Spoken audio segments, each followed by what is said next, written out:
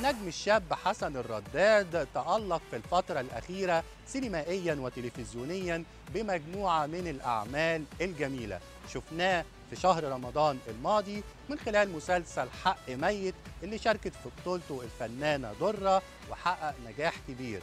كمان سينمائيا شفناه في فيلم زنقة ستات اللي الحقيقة حقق إيرادات عالية جدا. تعالوا مع بعض نتابع من خلال لقائنا مع حسن الرداد تفاصيل أكتر عن مشواره الفني. نجم الشاب حسن الرداد متعتنا في شهر رمضان اللي فات بمسلسل حق ميت المولد وصاحبه غايب. كنت بتنافس نفسك في رمضان 2015 لا خالص إن مسلسل حق ميت هو مسلسل جديد والناس عارفة إنه آه، مسلسل آه، مولد صاحبه غايب مسلسل قديم.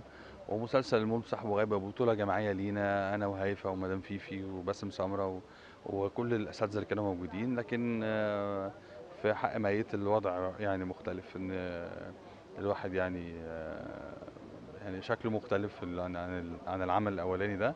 ومسلسل حق ميت كان متوزع ويعني الناس بتبقى دايما عارفة إن ده عمل جديد فما كانش مؤثر يعني. كان ليك تجربة مهمة جدا في دراما خارج رمضان آدم وجميلة.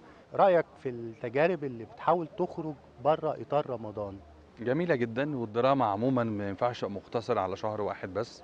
لازم السنة كلها الناس تتفرج على مسلسلات الناس تتفرج على اللي تقدر عليه في رمضان وتقعد تتفرج على الباقي بقية السنة. فحلو إن يبقى فيه مسلسلات طول السنة لأن واحد وهو صغير كان بيتفرج على مسلسلات طول السنة يخلص يبقى فيه مسلسل بعديه يعني.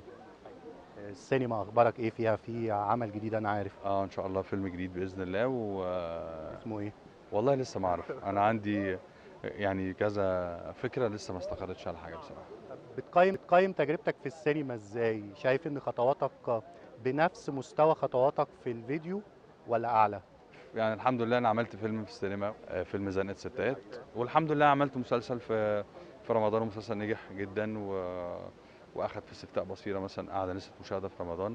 ف يعني مسا... الحمد لله على مستويين أنا حريص إن في السينما وفي التلفزيون الواحد ينجح في الاثنين وده مشكل بالنسبة لي أنا صعوبة السنة الجديدة إن أنا لازم أنجح في السينما أو يعني عايز أعمل حاجة كويسة في السينما أحسن من الفيلم وبرضه مسلسل أحسن اللي فات